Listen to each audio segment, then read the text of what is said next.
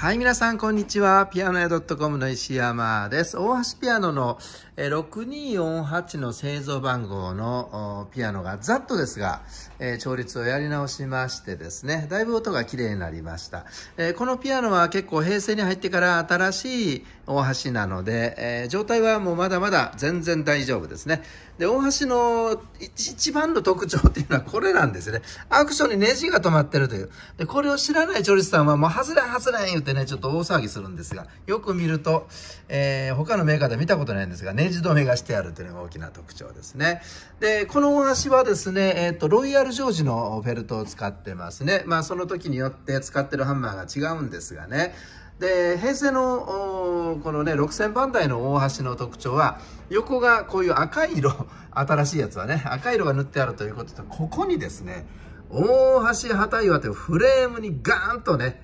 えー、名前が書いてあると これが、えー、非常に大きな特徴になりますがこの開けた状態で、えー、大橋の音を聞いてもらいたいと思います。